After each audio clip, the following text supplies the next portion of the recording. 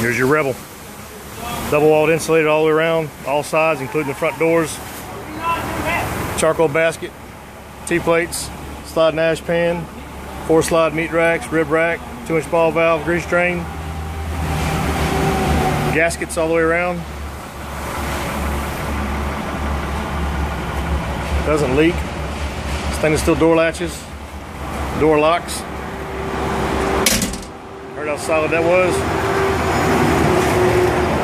Latches with your dual temp gauges, gator pit.